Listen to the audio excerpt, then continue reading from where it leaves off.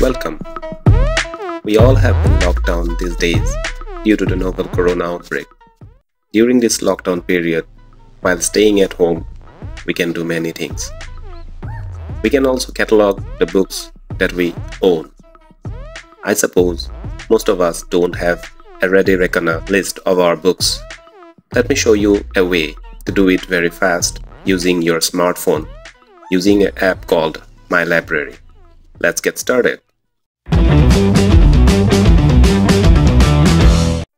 To start, let us first install the My Library app and then open it. We can install it from the Google Play Store link provided in the description.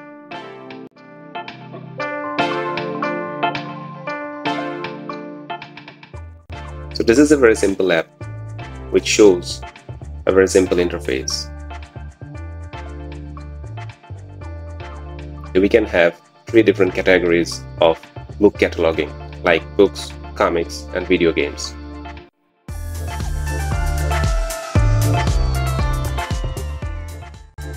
And there are options like exporting the library and then importing a library from a, from a different device.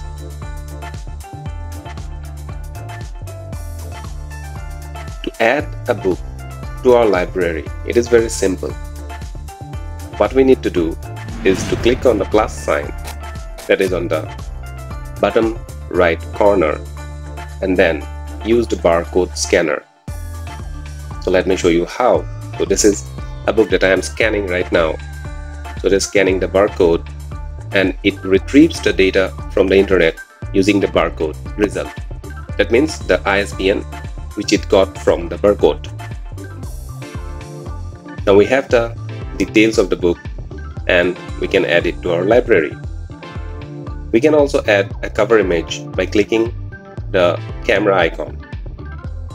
Sometimes a cover image is also downloaded from the internet automatically, but sometimes it is not downloaded. So once we add the book, it will be listed in our book library catalog where we can see there, there, there I am, I'm showing you my catalog which I have already prepared. I am a chemist and I have most of the books from chemistry.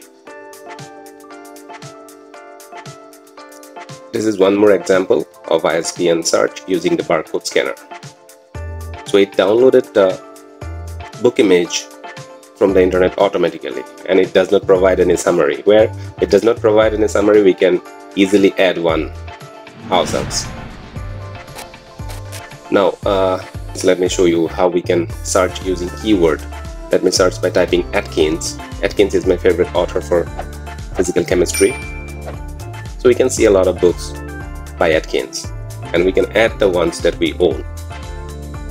There are options like exporting the library and importing the library. Export options also include cloud storage like Google Drive and Dropbox. The app is free and very easy to use. If we wish, we can pledge a donation to the developer. This is it for today. Thank you.